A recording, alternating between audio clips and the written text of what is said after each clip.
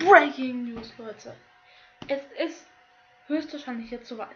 Der FC Bayern wäre jetzt bereit, Robert Lewandowski, amtierender Weltfußballer 2021, ja, abzugeben. Zudem will er unbedingt zum FC Barcelona, hat auf Instagram Profilbild, ja, geändert, nicht mehr Bayern, sondern irgendwas mit seiner neuen Marke. Und Leute, Barca hat jetzt sein Angebot nochmal erhöht. Er soll noch mehr Gehalt als in München verdienen und er wolle unbedingt nach Spanien. Zudem seine Ehefrau Anna ähm, lief mit ihren Kindern schon oft durch spanische Straßen und zwar sagte er in seiner angeschriebenen Sportwelt, ich erwarte Robert am 12. Juli im Trainings. Ja, Start.